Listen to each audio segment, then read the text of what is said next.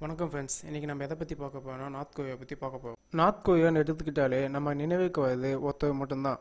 Kim president of North Korea அவளை பற்றி சொல்ல போனால் ஏகப்பட்டதை சொல்லலாம். அவள் சர்வாதி கிங் அப்படி இப்படின்னு ஏகப்பட்டதை சொல்லலாம். ஆனால் நார்த் கொரியா பற்றி நமக்கு தெரியாத பத்து ஃபேக்ட் இருக்குது அது என்னன்னு இன்றைக்கி வீடியோவில் பார்ப்போம். First thing only fifteen haircut North கொரியாவில் வெறும் பதினஞ்சு விதமான ஹேர்கட் மட்டும்தான் மக்களால் பண்ண முடியும். அதாவது எப்படின்னு பார்த்தீங்கன்னா சைடில் வந்து ஃபிஃப்டீன் சென்டிமீட்டரும் ஃபுல்லாக ஷேவ் பண்ணியும் மீசை வைக்காமையும் மட்டும்தான் நார்த் கொரியாவில் ஷேவிங்கோ கட்டிங்கோ பண்ண முடியும். Second thing calendar year one nought nine அதாவது நார்த் கொரியாவில் இன்னைய ஆண்டு என்னன்னு கேட்டிங்கன்னா ஒன் நாட் oh நைன் அப்படின்னு தான் சொல்லுவாங்க. அதாவது டூ தௌசண்ட் டுவெண்ட்டி சொல்ல மாட்டாங்க. ஏன் அப்படி சொல்கிறாங்க அப்படின்னு கேட்டிங்கன்னா ஆயிரத்தி தொள்ளாயிரத்தி பன்னெண்டாவது வருஷம் கிம் டூ அப்படின்ற பிரசிடெண்ட் வந்து பிறந்தார். அவருடைய பிறந்த நாளை தான் அவங்க வந்து முதல் வருடமாக வச்சு கொண்டாடுறாங்க. அதாவது the rise of the sun அப்படின்னு சொல்லிட்டு அந்த பிரசிடெண்ட் அவங்க ஏற்றுக்கிட்டதுனால அந்த இயர்லேருந்து இன்னிய வரைக்கும் அவங்க வருட நியூ இயராக கொண்டாடுவாங்க. அதாவது first year second year third year நான் ஒன் நாட் நைன் இயர்ஸாக கொண்டாடுவாங்க. தேர்ட் என்னன்னு பார்த்தீங்கன்னா வேர்ல்டு லார்ஜஸ்ட் ஸ்டேடியம் அது எங்கே இருக்குதுன்னு பார்த்தீங்கன்னா நார்த் கொரியாவில் தான் இருக்குது அந்த ஸ்டேடியத்தோட பேர் ரென்கார்டோ அந்த ஸ்டேடியத்தில் ஒரு லட்சத்தி ஐம்பதாயிரம் பீப்புள் வந்து உட்காந்து நம்ம எதை வேணாலும் பார்க்கலாம். ஆனால் அங்கே அந்த ஸ்டேடியத்தில் வந்து வெறும் மிலிட்ரி ஆக்ஷன்ஸ் மட்டும்தான் நடக்கும். மோஸ்ட்லியாக பார்த்தீங்கன்னா. ஃபோர்த் என்னன்னு பார்த்தீங்கன்னா த்ரீ ஜென்ரேஷன் பனிஷ்மெண்ட் அதாவது மூணு ஜென்ரேஷனுக்கு மூணு தலைமுறைக்கு பனிஷ்மெண்ட்டை அனுபவிக்கணும் அந்த நாட்டில்.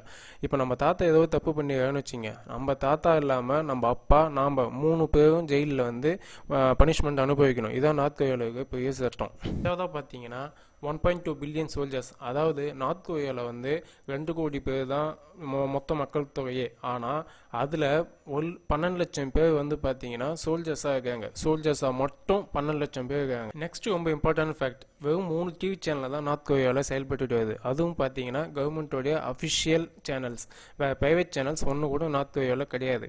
அந்த சேனலும் பார்த்தீங்கன்னா கிம் பிரசிடென்ட் கிம்மோடைய ஸ்பீச் மட்டும்தான் பப்ளிஷ் ஆகும். அதை மட்டும்தான் டெலிகாஸ்ட் பண்ணுவாங்க. வேறு எந்த ஃபிலிமோ ஒரு சீரியலோ எதையுமே நார்த் டெலிகாஸ்ட் பண்ணலை. நெக்ஸ்ட் திங் ஹியூமன் ஃபீசிஸ் அதாவது மனித மலம். மனித மலத்தை நார்த் கொரியா கவர்மெண்ட்டு மக்கள்கிட்ட இருந்து வாங்கி அதை வந்து விவசாயத்துக்கு ஒரு உரமாவோ ஃபெர்டிலைசராகவும் யூஸ் பண்ணிட்டாங்க. அந்த நார்த் கொரியா கவர்மெண்ட் வந்து ஏழ்மையான கவர்மெண்ட்ன்றதுனால ஃபெர்டிலைசர் வந்து விவசாயிகளுக்கு ப்ரொடியூஸ் பண்ண கொடுக்க முடியாத ஒரு பட்சத்தில் இந்த மாதிரி மனித கழிவை கொடுக்காங்க இதனால் ஏகப்பட்ட டிசீஸ் வரலாம். இருந்தாலும் அவங்களால வழி இல்லை அப்படின்ற பட்சத்தில் இதை தான் யூஸ் பண்ணி விவசாயம் பண்ணிட்டு இருக்காங்க. நெக்ஸ்ட் ஃபேக்ட் என்னென்னு பார்த்தீங்கன்னா unpaid thousand Volvo cars Kim two என்ற பிரசிடெண்ட் வந்து என்ன பண்ணாருன்னா வால்வோ கம்பெனி அதாவது ஸ்வீடன் கம்பெனிக்கிட்ட வந்து ஆயிரம் வால்வோ காசை வந்து வாங்கினது ஆனால் இது வரைக்கும் இன்னைய தேதி வரைக்கும் அவர் ஒரு பைசா கூட ஸ்வீடன் க நாட்டுக்கோ அந்த கம்பெனிக்கோ கொடுக்கல. ஆனால் இன்னி வரைக்கும் ஸ்வீடன் கம்பெனிக்கிட்ட இருந்து இன்வாய்ஸ் வந்து டெய்லி சென்ட் பண்ணிட்டு தான் இருக்காங்க. இது வரைக்கும் எந்த ரெஸ்பான்ஸும் இல்லை. நெக்ஸ்ட் வந்து யூஎஸோடைய ஸ்பைஷிப் இந்த வேர்ல்டுலே நார்த் கொரியா கிட்ட மட்டும்தான் யூஎஸோடைய ஸ்பைஷிப் வந்து மாட்டிக்கிச்சு. அதாவது என்ன எப்படின்னு பார்த்தீங்கன்னா ஆயிரத்தி தொள்ளாயிரத்தி அறுபத்தெட்டில் எண்பத்தி மூணு அமெரிக்கா நேவி படையோட ஸ்பைஷிப்பாக வந்து நார்த் கொரியாவில் போன ஷிப்பை வந்து நார்த் கொரியா அப்போ இருந்த நேவி பார்த்தீங்கன்னா கேப்சர் பண்ணியிருக்காங்க. இது வேர்ல்டுலே ஃபர்ஸ்ட் டைம் அமெரிக்கன் ஷிப்பை கேப்சர் பண்ண முதல் கண்ட்ரி நார்த் கொரியா தான். லாஸ்ட் ஃபேக்ட் என்னன்னு பார்த்தீங்கன்னா வெஸ்டர்ன் டூரிஸ்ட் நார்த் கொரியாவில் only five thousand western tourist மட்டும்தான் அலோவ் பண்ணிட்டாங்க. சைனாவும் நார்த் கொரியாவும் பக்கத்து பக்கத்து நாடுன்றதுனால சைனாவில் வந்து டூரிஸ்ட் வந்து அலோவ் பண்ணிட்டாங்க. அவங்க வந்து பஸ்லேயே வந்து போயிடுவாங்க. ஆனால் வெஸ்டர்ன் கண்ட்ரிஸ் நம்மளுமே யூரோப்பியன் கண்ட்ரீஸில் பார்த்தீங்கன்னா ஒன்லி ஃபைவ் தௌசண்ட் ஒரு இயர்க்கே பார்த்தீங்கன்னா ஃபைவ் தௌசண்ட் மெம்பர்ஸ் தான் அலோவ் பண்ணுவாங்க. அதுவும் பார்த்தீங்கன்னா அதுலேயும் சில கைட்டீரியா வச்சு தான் அவங்க உள்ளே வந்து நாட்டுக்குள்ளேயே வந்து டூரிஸ்டே அலோவ் பண்ணுறாங்க இப்போ பார்த்த பத்து ஃபேக்ட் ஒரு சின்ன எக்ஸாம்பிள் தான். இது இல்லாமல் நார்த் கொரியாவில் இன்னும் ஏகப்பட்டது இருக்குது. அதாவது நார்த் கொரியா நாடை பார்த்து அமெரிக்கா மட்டும் இல்லை இந்த உலகமே பயப்படுது. காரணம் அவங்ககிட்ட இருக்க நியூக்ளியர் பவர் மிலிட்ரி பவர் எல்லாமே.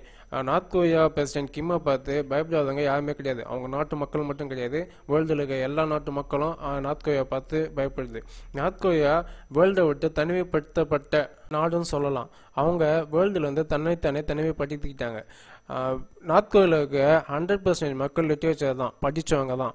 இருந்தாலும் வேர்ல்டில் கம்பேர் பண்ணும்போது நார்த் கொரியாவில் ஐம்பது பர்சன்டேஜ் மக்கள் வந்து பாவர்ட்டிக்கு பிலோவாக தான் இருக்காங்க. தேங்க்யூ ஃப்ரெண்ட்ஸ் இந்த வீடியோ உங்களுக்கு பிடிச்சிருந்தா லைக் பண்ணுங்கள் கமெண்ட் பண்ணுங்கள் சப்ஸ்கிரைப் பண்ணுங்கள்